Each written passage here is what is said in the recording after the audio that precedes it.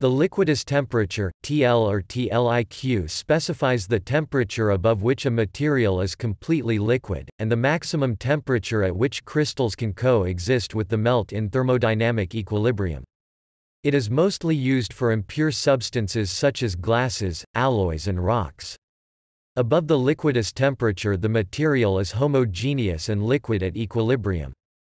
Below the liquidus temperature, more and more crystals will form in the melt if one waits a sufficiently long time, depending on the material. Alternately, homogeneous glasses can be obtained through sufficiently fast cooling, i.e., through kinetic inhibition of the crystallization process. The crystal phase that crystallizes first on cooling a substance to its liquidus temperature is termed primary crystalline phase or primary phase.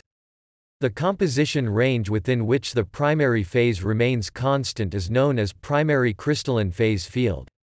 The liquidus temperature is important in the glass industry because crystallization can cause severe problems during the glass melting and forming processes, and it also may lead to product failure.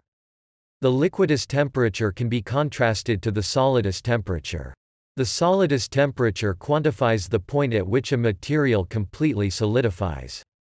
The liquidus and solidus temperatures do not necessarily coincide. If a gap exists between the liquidus and solidus temperatures, then within that gap, the material consists of solid and liquid phases simultaneously. For pure substances, e.g. pure metal, pure water, etc. the liquidus and solidus are at the same temperature, and the term melting point may be used. For impure substances, e.g. alloys, tap water, Coca-Cola, ice cream, etc. the melting point broadens into a melting interval instead.